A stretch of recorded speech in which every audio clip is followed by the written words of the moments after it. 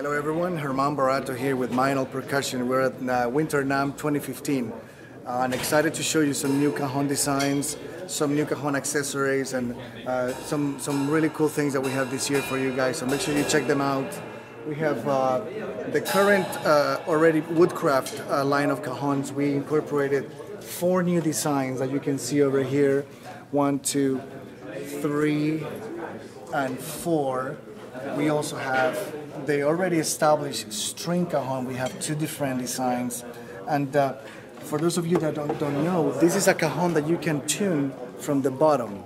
You can tune the string. The string you can tune it from the bottom if you want more or less resonance uh, on your uh, on your snares.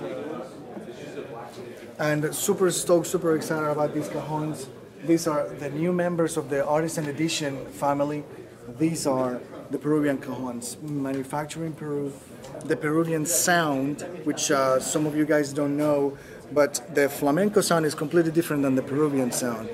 These are uh, completely different uh, instruments that uh, I encourage you to, to try it and, and, and see what you think about it. Uh, this is a cajon that has strings. We also have a version of the cajon that has no strings.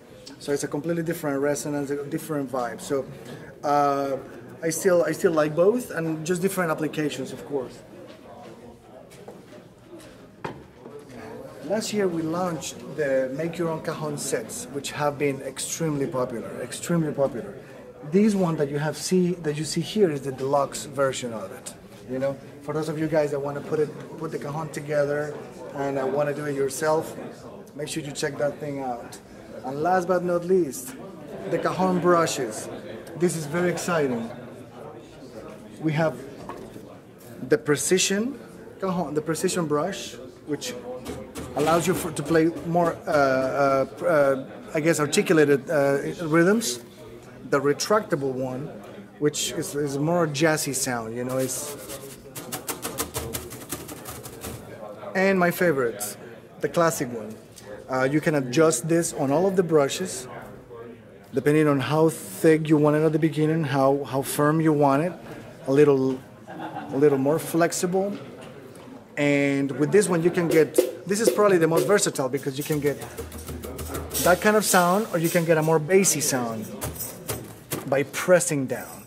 So now the the, the cajon leader which is Meinl now has the cajon brush. So make sure you check those, those out and thanks for watching